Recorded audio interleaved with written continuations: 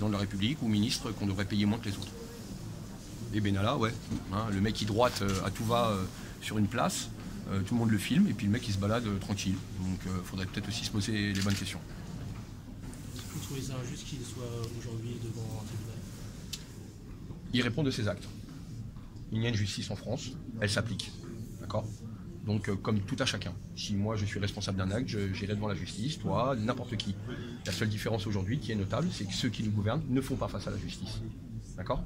Euh, Je vais prendre mon cas personnel, c'est filmé, on m'a tiré dessus, et on est en train de se poser des questions est-ce qu'on a tiré sur Jérôme?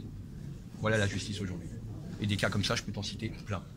Donc, euh, je le répète, j'apporte mon soutien à Christophe il répondra de ses actes.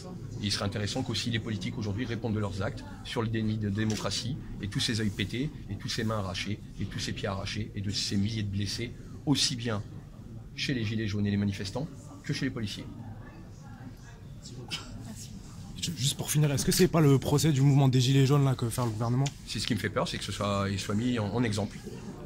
Donc euh, j'espère pas en tout cas que la justice reste juste qu'elle pense que c'est un homme bien aussi, qu'il n'a jamais rien fait d'autre avant que faire du sport, et qu'il a une famille, il a des enfants, et qu'il serait bon qu'il rentre à la maison pour s'occuper de sa famille, tout simplement.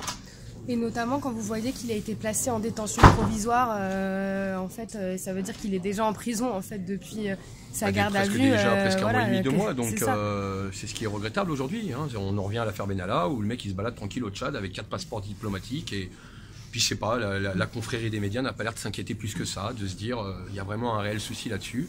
Mais alors par contre, euh, venir embêter euh, des gens comme nous, comme vous ou n'importe qui sur la manifestation et prendre trois mois de sursis pour un simple masque en papier, posons-nous encore une bonne fois les, bonnes questions. Dans quel pays vit-on aujourd'hui en 2019 Tout simplement?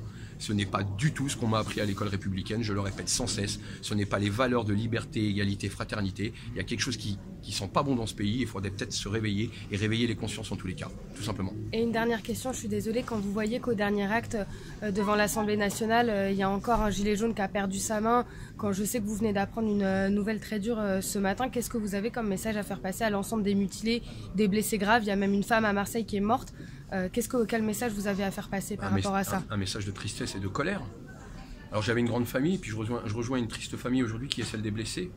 Antonio, Fiorina, Franck, Jean-Marc, Sébastien le dernier en date.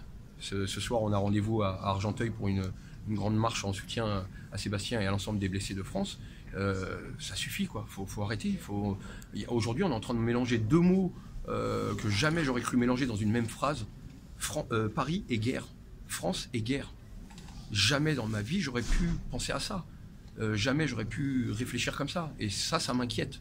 Quand on voit, euh, quand on voit qu'il y a des reporters de guerre sur Paris, des gars qui ont fait les théâtres de Syrie ou même de Roumanie en 89, mais qu'est-ce qu'ils foutent à Paris? On n'est pas en guerre. On est simplement en manifestation, on vient revendiquer et on se prend des bastos. On est le seul pays à le faire aujourd'hui en Europe. Posons-nous les bonnes questions. Posez-vous les bonnes questions. Qu'on soit le plus grand démocrate au monde, qu'on soit le plus grand macronien au monde, amis macroniens, réfléchissez. Vous avez juste élu un mec qui tire sur son peuple. L'ouvrez pas trop fort, ça risquerait de vous arriver. Et puis de toute façon, on le voit à l'Assemblée, dès qu'il y en a un qui parle plus fort, il se fait dégager. C'est le début, tout simplement. Merci beaucoup. Mais de rien. Et bon courage. Bon courage à vous.